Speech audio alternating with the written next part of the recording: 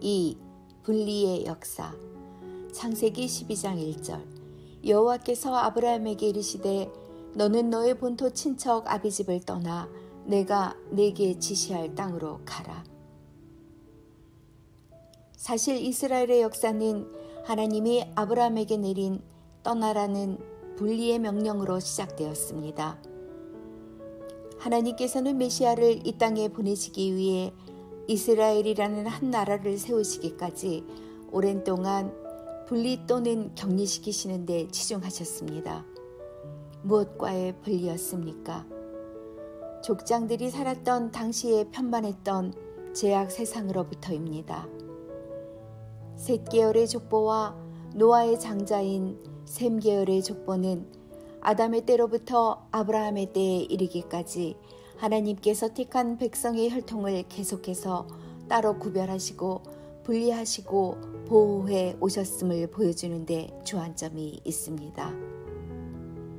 분리의 궁극적인 목적은 하나님께서 전 인류의 구원 역사를 진행시키시기 위한 것으로 아담부터 시작하여 선민 이스라엘의 최초 직계 조상인 아브라함이 나기까지 그리고 이 땅에 구원자가 오시기까지입니다. 바로 성경에서 말씀하시는 구속사의 결정적인 때까지 경건한 신앙의 맥이 끊어지지 않게 하시려는 것입니다. 그래서 끝없는 사랑과 보호로 때로는 막대기와 채찍으로 어둠의 세력과 분리의 역사를 진행시키셨습니다.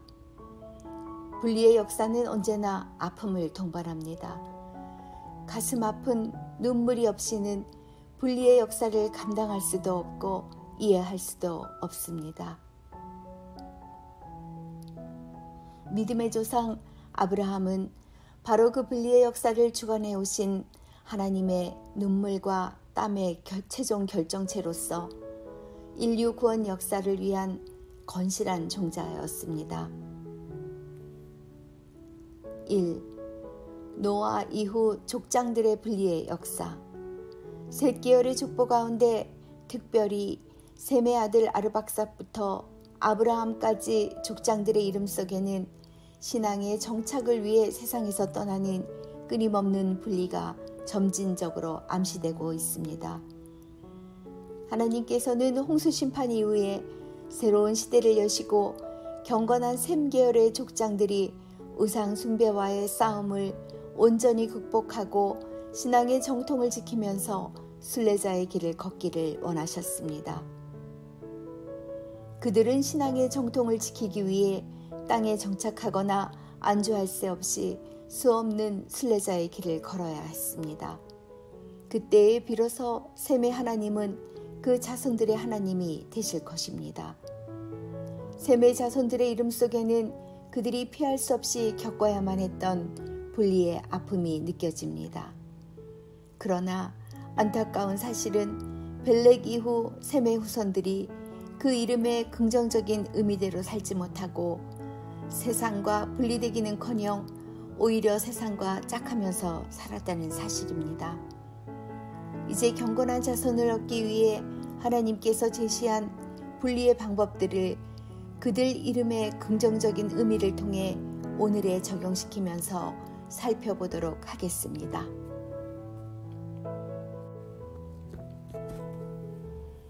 아르박삿 아르박삿은 셈의 아들입니다. 아르박삿의 뜻은 영역이라는 뜻입니다.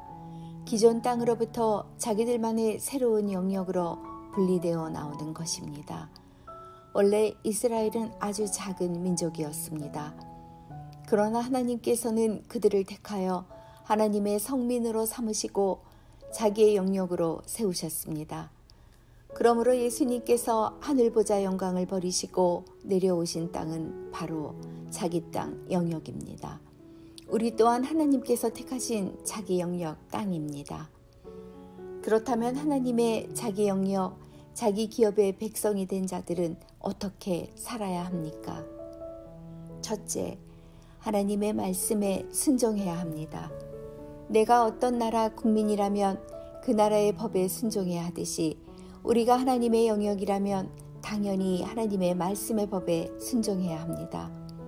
그래서 출애굽기 19장 5절에서는 세계가 다 내게 속하였나니 너희가 내 말을 잘 듣고 내 언약을 지키면 너희는 열국 중에서 내 소유가 되겠고라고 말씀하고 있습니다. 둘째, 거룩한 영역이 되어야 합니다. 하나님의 영역이 된 자들을 가리켜서 출애굽기 19장 6절에서는 거룩한 백성이라고 말씀하고 있으며 베드로전서 2장 9절, 9절 에서는 거룩한 나라라고 말씀하고 있습니다. 우리의 주인이신 하나님께서 거룩하신 분이므로 그의 영역된 우리도 거룩한 자가 되어야 합니다. 죄악의 손, 흑암의 손이 나를 만지지 못하도록 자신의 성별을 지켜가야 합니다. 그것은 주님이 강림하실 때까지입니다. 세상과 분리되어 나온 성도는 더 이상 사단의 통찰에 있지 아니합니다. 하나님의 지대한 관심, 끝없는 권고하심이 있습니다. 그래서 주의 백성, 주의 기업, 주의 백성, 자기의 보배로운 백성, 내 하나님 여호와의 성민이라고 하였습니다. 세계 민족 위에 뛰어나게 하실 것이라고 약속하셨습니다. 그러므로 하나님의 주권적인 통치를 받는 거룩한 영역, 거룩한 성도는 이 땅에서 가장 큰 행복자입니다. 셀라. 셀라는 아르박삭의 아들입니다. 셀라의 뜻은 멀리 밖으로 내 던지다입니다. 특정한 방향이나 목표를 가지고 다른 먼 곳으로 보내어진 분리의 상태를 말합니다. 하나님의 목적과 뜻이 있는 곳, 하나님이 기뻐하시는 곳이라면 아무리 낯선 곳이라도 아무리 불편한 곳이라도 가장 비천한 곳에 내 던짐을 당한다 할지라도 지금 사는 영역을 훌훌 벗어버리고 떠나는 결단이 있어야 합니다. 찬송가 355장처럼 아골골짝 빈들에도 하나님의 뜻이 머문 곳이라면 복음 들고 그 사명지로 달려가는 분리의 모습이 있어야 합니다. 예수님은 부활하신 후 승천하시면서 예루살렘을 떠나지 말고 머무르라고 말씀하셨습니다. 이것은 예루살렘이 자기 영역이심을 나타내는 것입니다. 그러나 이제 성령을 받은 다음에는 떠나라고 말씀하십니다. 사도행전 1장 8절에서 오직 성령이 너희에게 임하시면 너희가 권능을 받고 예루살렘과 온 유대와 사마리아와 땅 끝까지 이르러 내 증인이 되리라 하시니라고 말씀하고 있습니다. 하나님은 초대교회 성도들이 복음을 가지고 온 유대와 사마리아와 땅 끝까지 내 던져지기를 원하셨습니다. 그리하여 오순절 성령 강림 사건 이후에 예루살렘에 큰 핍박을 일으키셔서 유대와 사마리아 모든 땅으로 흩어지게 만드셨습니다. 이것이 바로 거룩한 내 던져짐입니다. 본래 살던 삶의 터전에서 다른 곳으로 내 던져진다는 것은 고독을 향한 출발을 뜻하는 것입니다. 사실 우리가 어디로 떠나라는 명령을 받는다면 쉽게 받아들일 수 없고 그것을 실천하기도 어려울 것입니다. 그러나 이것이 복음이라는 확실한 목적 있는 내 던져짐일 때 야베스와 같이 더 큰 영역으로 확장되는 축복, 지경이 넓어지는 역사를 경험하는 것입니다. 오늘도 우리는 복음을 가지고 아직도 복음이 전해지지 않은 불신의 땅을 향하여 내던져져야 합니다. 사단이 통치하는 땅을 복음으로 점령하여 하나님이 통치하시는 땅으로 확장시켜 나가야 합니다. 하나님은 복음을 전하는 자의 발을 기뻐하십니다. 오늘 우리도 자기 영역 안에만 안주하여 있지 말고 생명의 복음, 구원의 복음을 가지고 담대히 세상에 내 던져질 때 그 복음의 역사로 말미암아 하나님이 다스리시는 새로운 영역이 온 천하로 확장되는 역사가 있을 것입니다. 에벨 에벨은 강을 건너서 어떤 곳을 향해 계속 움직여 나간다라는 뜻입니다. 이것은 특별한 사명지로 보냄을 받은 뒤 목적지에 도착하기까지 험준한 장애물을 만나더라도 모두 극복하고 뛰어넘으며 결코 뒤돌아보거나 멈추지 않고 계속 전진하는 모습을 연상시킵니다. 신앙은 장거리 경주요, 장애물 경주입니다. 어떤 장애가 와도 조금도 흔들림 없이 목표에 도달할 때까지 밀고 나가는 것입니다. 그 장애물은 나 자신일 때가 많고 가족과 친척, 친구일 수도 있고 죽음의 위협, 세상의 물질일 수도 있습니다. 그러나 우리는 이러한 장애물로부터 분리되어 나와야 합니다. 장애물을 회피하거나 한탄하지 말고 하나님의 말씀을 의지하며 붙잡고 능히 뛰어넘고 계속 전진해야 합니다. 그러기 위해서는 수없이 나를 쳐서 복종시켜야 하고 내 생각과 싸워야 하고 또 주변의 인간적 관계까지도 말끔히 청산하는 아픔까지 감수해야 하는 것입니다. 사도 바울이 율법의 영역에서 벗어나 이방을 담는 그릇으로 내 던져짐을 당했을 때 그의 앞에는 수많은 장애물이 버티고 있었습니다. 그러나 사도 바울은 이 모든 장애물을 오직 하나님을 의지함으로 뛰어넘었습니다.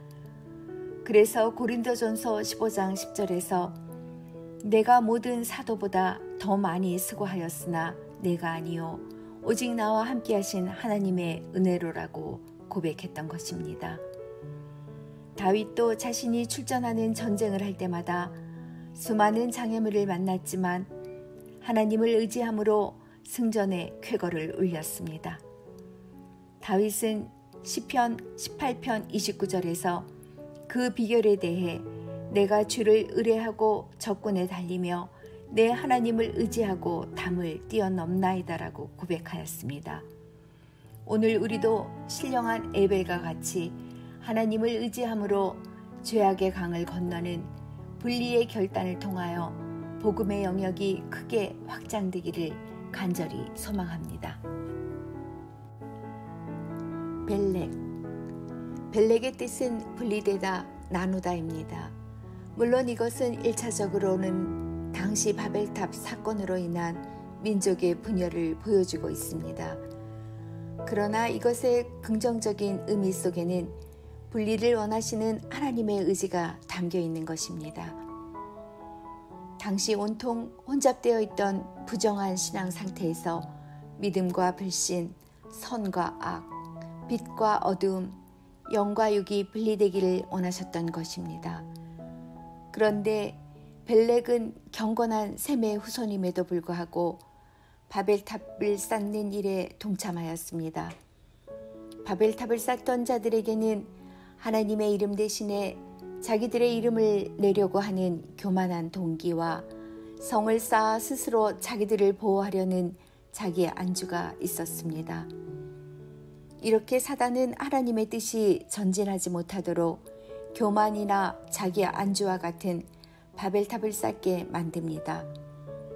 벨렉이 바로 그러한 자들과 함께하고 있었던 것입니다. 인간들이 바벨이라는 성과 대를 쌓기 위하여 연합하였을 때 하나님은 분리의 작업을 하셨습니다.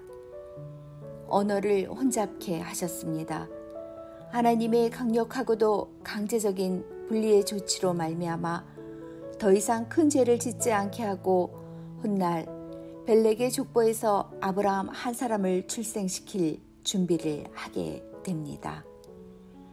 벨렉부터 아브라함 이전까지 벨렉, 루, 수룩, 나홀, 데라까지의 족장들은 죄악에서 완전히 분리되어 나오지 못한 자들입니다.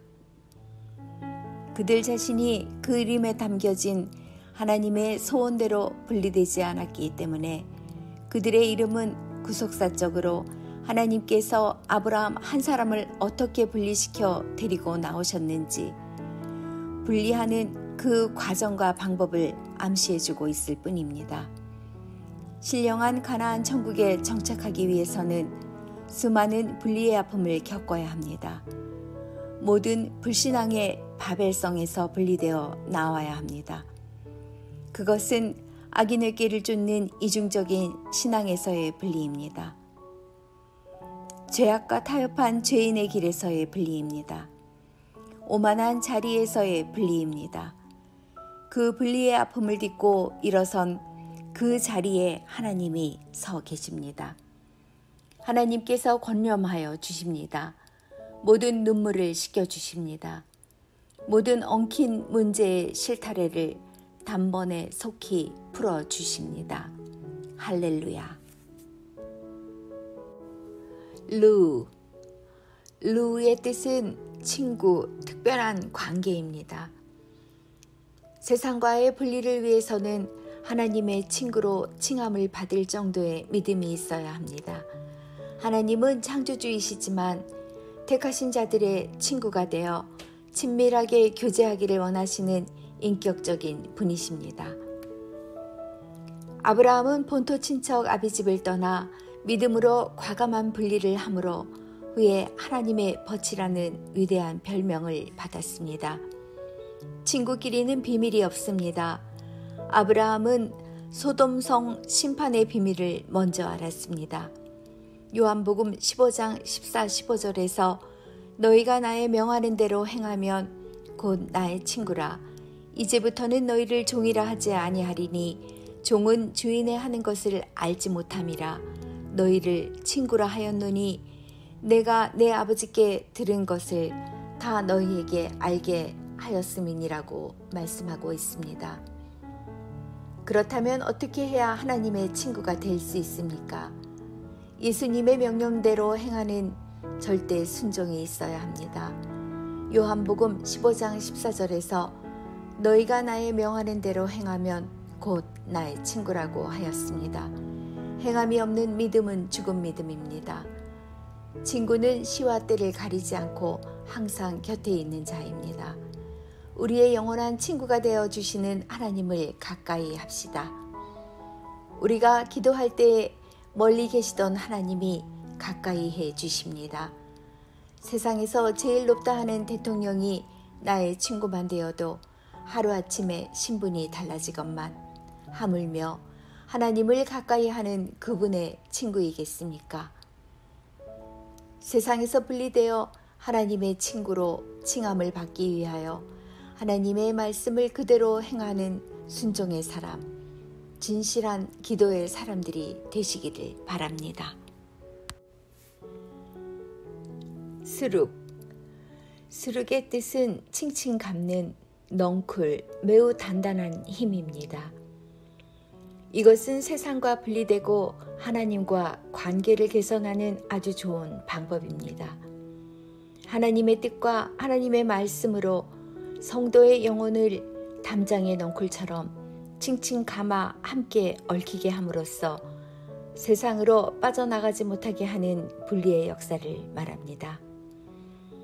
그것은 하나님께서 성도를 붙잡으시는 매우 단단한 힘입니다. 성도가 재임과 의지로서 세상과 분리할 수 없습니다. 오직 말씀과 기도로만 거룩해지며 그 위에 하나님의 강권적인 사랑이 은혜로 부어질 때 분리할 수 있는 것입니다.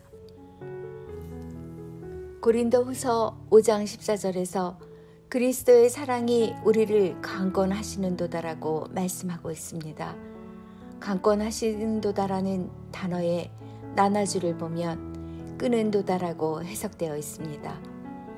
표준 세번역에서는 그리스도의 사랑이 우리를 휘어 잡습니다라고 하였습니다. 강권하시도다란 헬라어로 시네코입니다.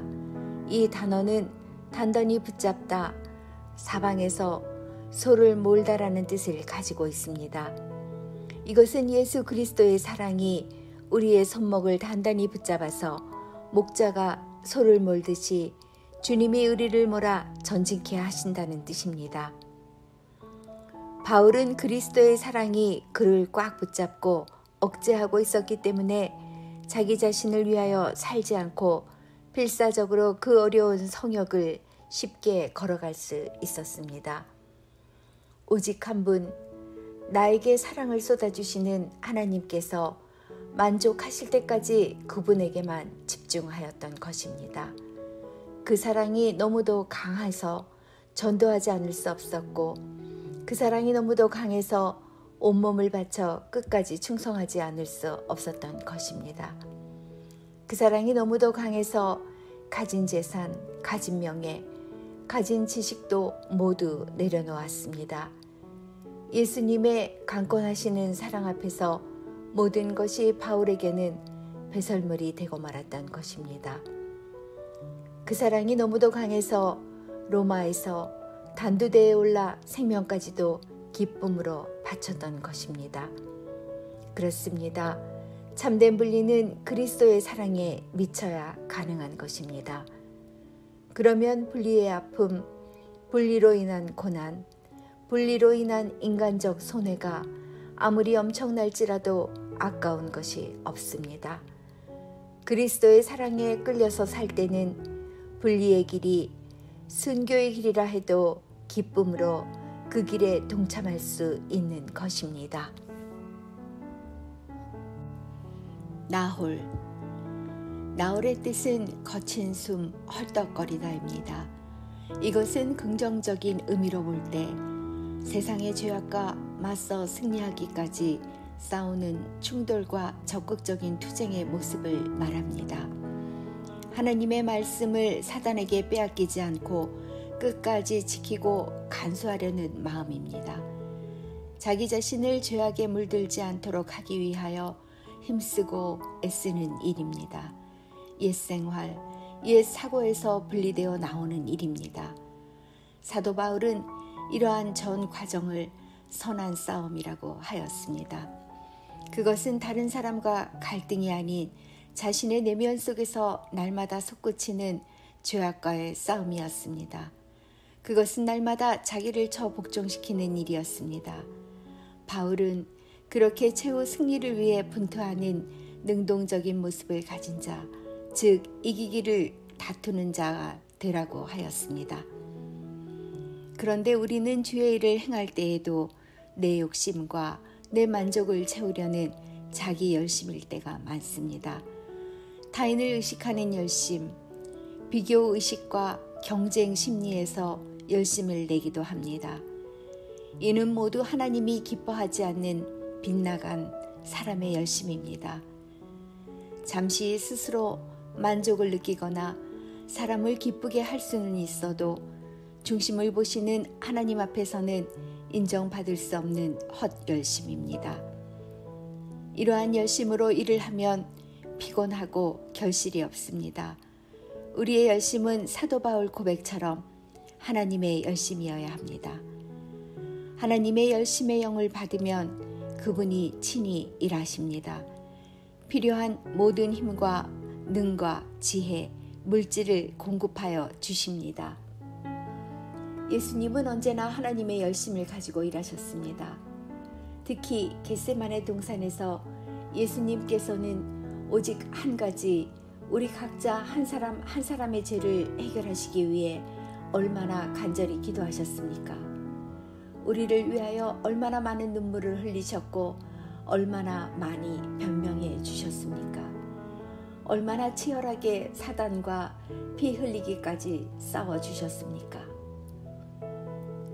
하나님의 열심을 가졌던 사도 바울은 고린도 후서 7장 11절에서 일곱 번씩이나 얼마나를 반복하고 있습니다. 얼마나 그것은 헬라어로 알라인데 그 이상 더 그것 외에 좀 더라는 뜻입니다. 맡겨주신 주의 일에 더 충성하기 위하여 더 기도하기 위하여 더 봉사하기 위하여 더 전도하기 위하여 더 많이 수고하고 항상 주의 일에 더욱 힘쓰는 자가 되어야 할 것입니다. 더 많이 수고하는 일, 그것이 받은 은혜를 보답하는 길이요, 죄악에서 분리되어 나오는 거룩한 방법인 것입니다. 데라, 데라의 뜻은 이주하다, 지체하다입니다. 범죄의 온실 갈대아우르에서 우상을 숭배하면서 비참하게 살던 데라였습니다. 그러나 그는 자기 아들 아브라함에게 나타나신 영광의 하나님에 대한 두려움에 쌓여 순간 회개하고 아브라함과 함께 갈대아 우리의 옛삶을 청산하고 우상의 도시에서 분리하여 나오게 되었습니다. 그 후 아브라함의 아버지 데라는 죄악의 습성을 완전히 벗지 못하고 하란에 정착하여 살다가 죽었지만 우상에 흠뻑 젖어 살던 그가 아브라함과 함께 우상의 도시 갈대아 우르를 떠나 강을 건너 하란까지 이주한 것은 대단한 결단이 아닐 수 없습니다. 데라의 삶은 우리가 아브라함처럼 복이 되고 많은 믿음의 후손들을 거느리는 영육간의 큰 부자가 되기 위해서는 계속적인 이주의 삶을 살아야 함을 가르쳐 줍니다. 만일 데라가 갈대아 우르에서 하란으로 이주한 후에 다시 가나안까지 이주하였더라면 그는 아브라함과 함께 위대한 믿음의 조상이 되었을 것이며 나아가 아브라함처럼 후대 사람들에게 존경을 받는 큰 이름의 소유자가 되었을 것입니다. 데라의 또 다른 뜻인 지체하다, 미루다에서 보듯이 사단은 우리가 가나안 천국을 향하여 이주하지 못하도록 하란과 같은 물질적인 풍요를 통하여 우리를 붙잡고 하나님의 뜻이 지체되도록 만듭니다. 당시 하란은 가나안과 메소포타미아 간의 대상로의 중간 지점으로 교통의 여지였고 상업 활동이 아주 활발하여 물질적으로 풍요로운 도시였습니다. 사람들의 마음은 테라처럼 언제나 땅에 있는 보물, 물질에 붙잡혀 있습니다. 우리의 전 생애가 돈에 매여 돈줄을 따라가고 돈 앞에 아부하고 돈으로 성공 여부를 가린다면 그 마음에는 이미 하나님이 떠난 상태입니다. 하나님과 재물을 겸하여 섬길 수는 없기 때문입니다. 하나님은 정함이 없는 재물에 소망을 두지 말라고 하셨습니다. 재물을 사랑하는 것은 일만하게 뿌리가 됩니다. 돈을 좋아했던 가론 유다는 돈 때문에 시험 들었고 결국 돈 때문에 예수님을 배신하고 팔아 넘김으로 영원히 씻을 수 없는 과오를 범하였고 자신은 목을 메고 자살하는 비참한 인생이 되고 말았습니다. 분리, 그것은 말로만 되지 않습니다. 먼저 죄를 통분히 여기며 가슴을 치는 간절한 회개가 선행되어야 합니다. 죄가 있어 세상과 버치된 상태에서는 하나님을 가까이 할 수도 없고 거꾸로 그 죄가 하나님과 우리 사이를 분리시켜 버립니다. 이간질합니다. 내가 저질러 놓은 죄는 나의 삶의 주변에서 맴돌며 머물러 그림자처럼 평생을 따라다닙니다. 그 죄가 우리를 끝까지 찾아와 우리를 쳐서 증거합니다. 요한계시록 17장 16절에서는 그 죄가 우리를 망하게 하고 벌거벗게 하고 불로 아주 살라버린다고 말씀하고 있습니다. 죄가 얼마나 끈질기고 지독하고 무섭습니까? 죄 없으신 예수님도 우리 속에 있는 죄가 분리되기까지 땅에 무릎을 꿇고 이마를 땅에 대고 더욱 간절히 애쓰고 힘쓰셨습니다. 예수님처럼 죄에 대한 가슴 아픈 통분을 가지고 죄가 붙으려야 붙을 수 없을 정도로 철두철미하게 회개하시기 바랍니다. 죄를 완전히 분리하시기 바랍니다. 그리할 때 떠나라고 분리를 명하시는 말씀에 온전히 수종할 수 있습니다.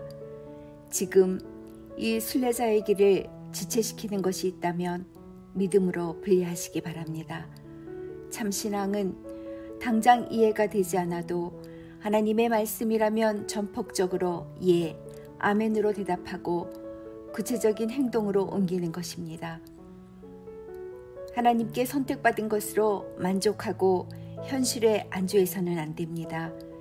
날마다 자기를 희생하여 바치는 충성과 최종 목적지를 향한 시선이 집중이 없이는 한 걸음도 전진할 수가 없습니다. 이제까지 성경의 역사가 증명하듯이 하나님이 그 작정하신 바 인류 구원의 역사는 반드시 그 끝을 보고야 말 것입니다.